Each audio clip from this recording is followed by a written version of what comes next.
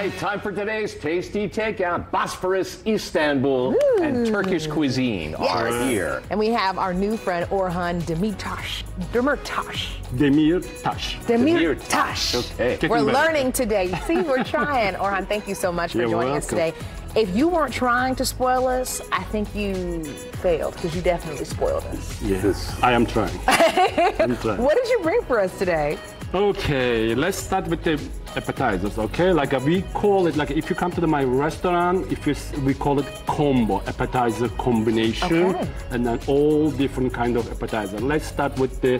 This is the hummus made by chickpeas. This is the baba ganoush smoked eggplant.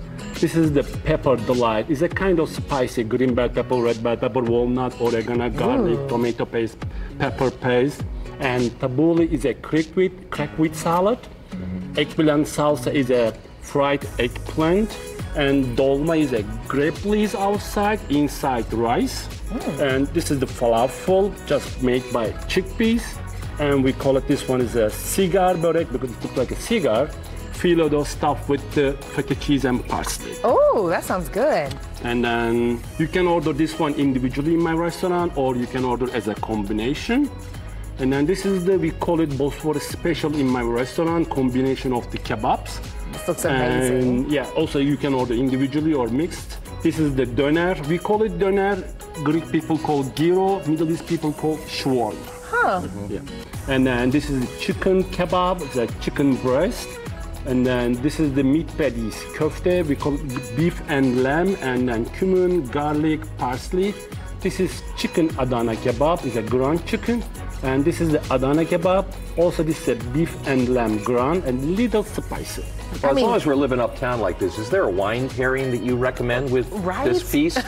well, everything is good, but like a this dish is very popular dish. That's why I brought it. But also, I can suggest the Adana kebab and very traditional doner. It's a- they call it gyro, we call it doner.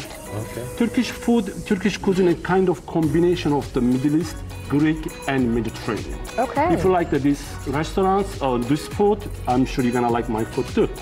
And then these all goes with the pita bread, warm pita bread. Mm-hmm. It comes to us half cooked, and then we put on the grill, put the butter on it, and then we serve to our customers. So it sounds like to me it goes with any kind of wine. Yeah. And maybe even some And sweet this is right the here. last station on the table. Like after you finish everything, this is the Turkish baklava. This uh, filo dough stuffed with the walnut, and then we put syrup. Like uh, we don't put the honey. That's why it is not strong and not sweet. We do the syrup, like boil the water, sugar and lemon, Hmm. and then we put top of the baklava.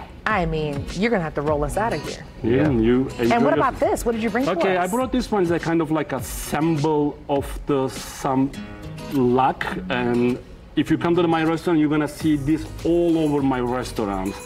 They we call it nazar bonji or English they call it evil eyes. That means protect you from all bad luck and all evil eyes. Wow. You and can you put on your both of us. house.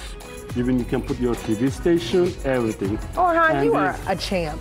Yes, these are gonna stay with you. My present for you guys. Thank you. oh, this is so beautiful. Well, thank you so much. Look, we love to keep the evil away. Yeah, yeah. Everything is gonna be.